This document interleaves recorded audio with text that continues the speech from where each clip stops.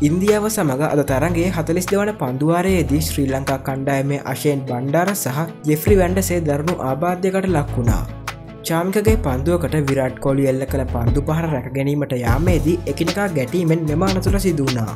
ක්‍රීඩකෙන් දෙදෙනම අවේ පන්දුව දිහා බලාගෙන. ක්‍රීඩකෙන් දෙදෙනගේම පූර්ණ අවධානය තිබුණේ පන්දුව කෙරෙහි. අනතුරින් පසුව අශයෙන් නැගිට නැවතවතාවක් පන්දුව නවත්තන්න හැදුවත් නැගට ගන්න බැරුව අශයෙන් ඇදගෙන වැටුණා.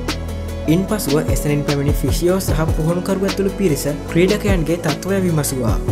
ඔවුන්ගේ තත්වය යහපත් නොවූ නිසා තවදුරටත් ක්‍රීඩා නොකර ක්‍රීඩකයන් දෙදෙනම ගියන්න දක් ආධාරයෙන් පිටියන් ඉවතට läගෙන ගියා.